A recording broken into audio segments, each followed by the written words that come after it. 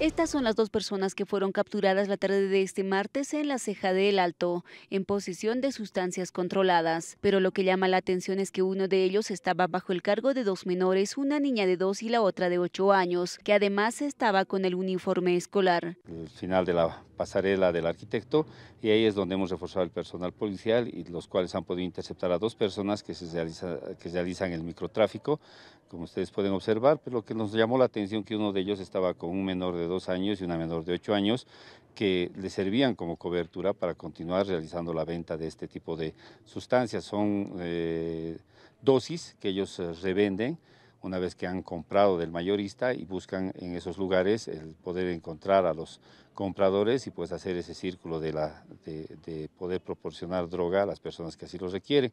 Al momento de la intervención, el oficial que ha intervenido y ya ha estado mimetizado en el lugar, ha sido agredido por uno de ellos. La policía presume que lo hacía para no levantar sospechas o se trataría de una modalidad de acercarse a unidades educativas. El hombre admitió que realiza esta actividad ilícita y dice que lo hace por necesidad para mantener a sus hijos, porque no encontró trabajo.